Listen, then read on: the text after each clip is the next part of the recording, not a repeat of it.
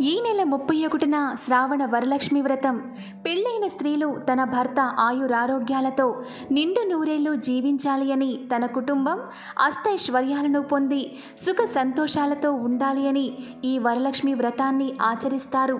వరలక్ష్మి వ్రతాన్ని ఆచరించి సిరి సంపదలు పొందిన గొప్ప గొప్ప స్త్రీల గురించి మన పురాణాల్లో ఎన్నో కథలు వాడుకలో ఉన్నాయి. మరి అంతటి మహిమ కలిగిన ఈ వరలక్ష్మి వ్రతం రోజున పూజా మందిరంలో ఈ ఒక్క వస్తువు పెట్టారు అంటే మీ ఇంట్లో లక్ష్మీదేవి తిష్ట వేసుకుని కూర్చుంటుంది. లక్ష్మీదేవిని సైతం ఎటు కదలకుండా చేసే ఆ గొప్ప వస్తువు ఏమిటో ఈ వీడియోలో మనం వివరంగా తెలుసుకుందాం. ఈ వీడియోని చివరి వరకు చూస్తేనే క్లియర్గా అర్థమవుతుంది. కాబట్టి ఎండ్ వరకు చూడండి. అలాగే ఈ వీడియోని లైక్ చేయకపోతే ఇప్పుడే లైక్ చేసేయండి.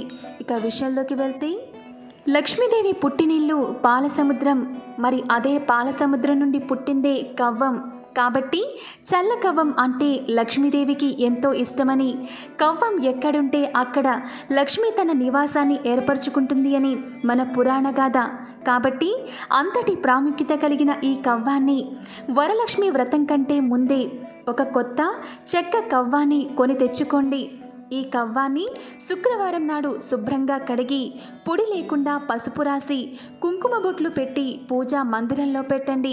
ఈ విధంగా ఎవరైతే వరలక్ష్మి వ్రతం రోజున లక్ష్మీదేవికి ఇష్టమైన కవ్వాన్ని పూజా మందిరంలో పెడతారో ఆ ఇంట్లో లక్ష్మీదేవి తిష్ట వేసుకుని కూర్చుంటుంది. తద్వారా ఆ ఇంట్లో ధనానికి లోటు ఉండదు. కుటుంబంలో సుఖ సంతోషాలు వెల్లివిరుస్తాయి. కాబట్టి ఈ వరలక్ష్మి వ్రతం రోజున కవ్వాన్ని పూజా మందిరంలో పెట్టి లక్ష్మి అనుగ్రహానికి పాత్రలు కండి. సరే ఫ్రెండ్స్ లక్ష్మీదేవి మీ ఇంట్లో తిష్ట వేసుకుని కూర్చోవాలి అంటే పూజా మందిరంలో ఏ వస్తువు పెట్టాలో వివరంగా తెలుసుకున్నారు కదా? మీకు కనుక ఈ వీడియో నచ్చితే తప్పకుండా లైక్ చేయండి. అలాగే ఈ వీడియోని మీ ఫ్రెండ్స్ అండ్ ఫ్యామిలీ మెంబర్స్కి వాట్సాప్ అండ్ ఫేస్బుక్ గ్రూప్లో షేర్ చేయండి. ఇలాంటి ఇంట్రెస్టింగ్ వీడియోస్ మరిన్ని చూడాలి అనుకుంటే ఇప్పుడే మా ఛానల్ని సబ్స్క్రైబ్ చేసి పక్కనే ఉన్న గంట సింబల్లో ఆల్ మీద క్లిక్ చేయండి. Thank you